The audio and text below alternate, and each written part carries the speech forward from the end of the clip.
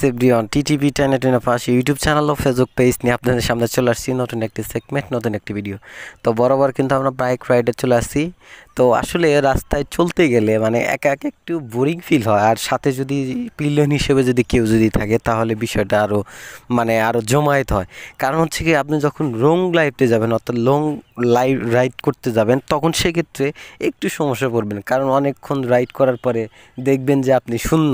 আর যদি আপনার পিছনে যদি কেউ যদি থাকে, সে বিষয়টা কিন্তু শূন্যটাকে পূরণ করে দেয়।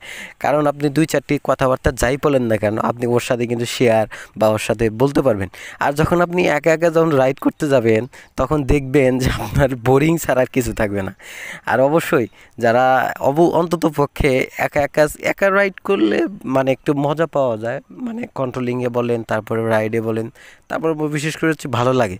তবে দুইজন থাকলে সুবিধা হয় কি, ধরেন আপনি একটা কোনো কাজে গেলেন, সেক্ষেত্রে যদি আপনার পাশে পিলিয়ন হিসেবে যদি কেউ থাকে, যেমন আমার হিসেবে দেখবেন আমার পিলিয়ন হিসেবে যে আছে, তাকে দিয়ে আমি কিন্তু আমার ক্যামেরাটা ধরাইছি, ওকে দিয়ে কিন্তু ভিডিও শ্যুট করেছি। যেমন এটা একটা আমার কাজের ধরন হইতেছে। আপনি যখন বাইক রাইড করতে যাবেন, যখন আপনি যখন প্লিন হিসেবে যখন কাউকে নেবেন, তখন ওর সাথে দুই চারটি কথা রোড সম্পর্কে কথা বলতে পারবেন, আশেপাশে যে এলাকার সম্পর্কে কথা বলতে পারবেন।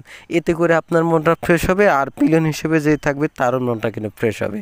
তো দুজনে কিন্তু বেটার লাগবে। কারণ দেখতে দেখতেই কিন্তু রাস্তার যে লিমিটেশন যে গতিসীমা আছে, অর্থাৎ যে শেষ পর্যায়ে আছে শেষ শেষ পর্যায়ে রাস্তাতে কিন্তু গন্তব্যে খুব সহজে কিন্তু পৌঁছাতে পারবেন। আপনি একা গেলে পৌঁছাবেন, কিন্তু একটু বোরিং ফিল হবে। আর দুইজন যদি থাকে, তাহলে বিষয়টা কিন্তু দেখা নিয়েও একটু অতুলনীয়, একটু ড্রাইভটা সুন্দর হবে এবং সুন্দর মনের একটা ভাব চলে আসবে, এই হলো বিষয় আর কি।